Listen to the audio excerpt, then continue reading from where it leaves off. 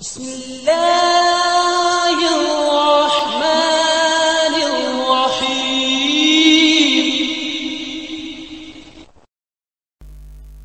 نحمدہ ونصلی ونسلم علی رسول الکریم منقول ہے کہ ایک مرتبہ ہمارے آقا سرکار دو عالم صلی اللہ تعالی علیہ وسلم نے جبریل امین علیہ السلام سے ایک بڑا عجیب اور بڑا دلچسپ سوال پوچھا۔ حضور نے پوچھا کہ جبریل یہ بتاؤ کہ کب کب تمہارا زمین پر فوراً آنا آنے کا اتفاق ہوا کہ جس میں تمہیں بہت جلدی میں صورت میں زمین پر آنا پڑا۔ تو جبریل امین علیہ السلام نے کہا، یا رسول اللہ، مجھے چار ایسے موقع یاد ہیں کہ مجھے بڑی صورت کے ساتھ یہ حکم الہی ہوا کہ زمین پر پہنچو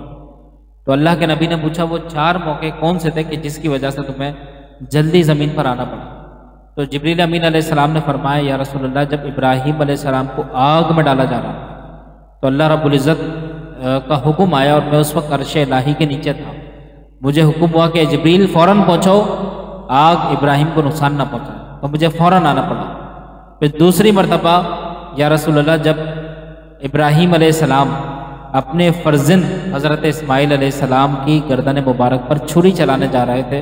تو مجھے اللہ کے اللہ کے دربار سے حکم ہوا کہ جبریل فوراً جاؤ اور اسماعیل کی جگہ پہ ایک مینڈھا رکھ دو، ایک دمبا رکھ دو۔ اور تیسری مرتبہ یا رسول اللہ، اس وقت موقع آیا کہ جب یوسف علیہ السلام کے بھائیوں نے یوسف علیہ السلام کو خوب مارا اور مارنے کے بعد، ان کی بے حرمتی کرنے کے بعد، ان کو ایک اندھیرے کنویں میں ڈال دیا اور جیسے ہی یوسف علیہ السلام کنویں میں گرنے لگے، اللہ کے دربار سے مجھے حکم آ گیا، جبریل فوراً پہنچو اور یوسف کو بچاؤ۔ اور چوتھی مرتبہ یا رسول اللہ، جب جنگ عہد کا موقع تھا اور آپ کے دندان مبارک شہید ہوئے اور آپ کے خون کا قطرہ زمین پر گرنے جا رہا تھا مجھے اللہ کے دربار سے حکم ملا ملا جبریل فوراً جاؤ اگر میرے حبیب کا خون زمین پر گر گیا تو قیامت تک اس روئے زمین پر کبھی سبزہ نہ اگے گا کبھی پھل نہ اگے گا اور یہ زمین کبھی آ, کبھی بھی اپنے پھل اور فروٹ جو ہے تم تک نہیں پہنچائے گی۔ جاؤ فوراً جاؤ اور نبی کے خون کو زمین پر گرنے سے بچا لو۔ تو بڑی صورت کے ساتھ تیز رفتاری کے ساتھ میں آیا اور آپ کے خون مبارک کے قطرے کو زمین پر گرنے نہ دیا۔